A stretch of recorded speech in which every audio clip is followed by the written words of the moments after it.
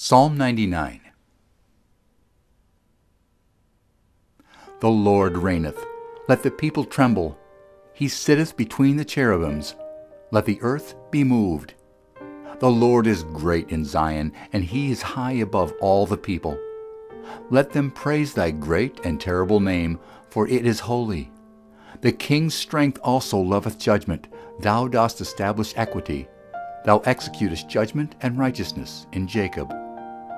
Exalt ye the Lord our God, and worship at his footstool, for he is holy.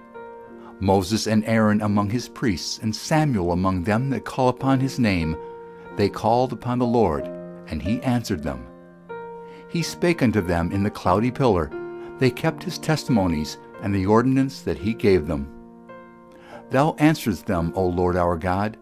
Thou wast a God that forgavest them, though thou tookest vengeance of their inventions. Exalt the Lord our God and worship at his holy hill, for the Lord our God is holy.